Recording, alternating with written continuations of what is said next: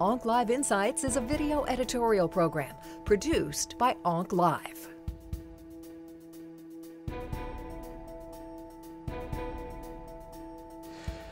There are some very interesting new data which have uh, looked at the role of CD30 in Hodgkin lymphoma and have suggested a, a new role for the microenvironment in Hodgkin lymphoma. So it's been well known for really a number of years now that there's a lot of crosstalk going on within the Hodgkin lymphoma lymph node between the Hodgkin-Reed-Sternberg cells and the inflammatory background infiltrate. And it appears as though the Hodgkin-Reed-Sternberg cell relies upon survival signals that it receives from many of the surrounding cells.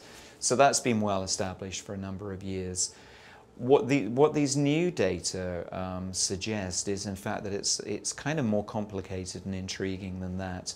And it appears as though the Hodgkin-Reed-Sternberg cells within the lymph node perform a network, uh, they, they form a network um, of cells which are linked uh, by these CD30 bearing protrusions that actually appear as if they actually connect the cells.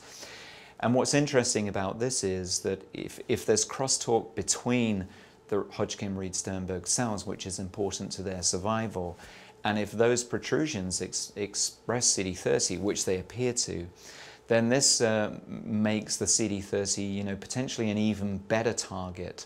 Furthermore, we know that targeting tubulin um, is is helpful in actually breaking down these protrusions and breaking down these membrane-bound vesicles, which you know would then subsequently result in a loss of crosstalk and reduced survival for the Hodgkin-Reed-Sternberg cell.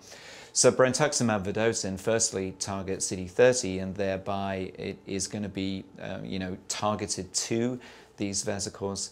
And secondly, because of the mechanism of action of the conjugated drug, which is an anti-tubulin drug, there's good reason to believe that it will um, you know, be beneficial in terms of destroying these cross-links and crosstalks between the cells.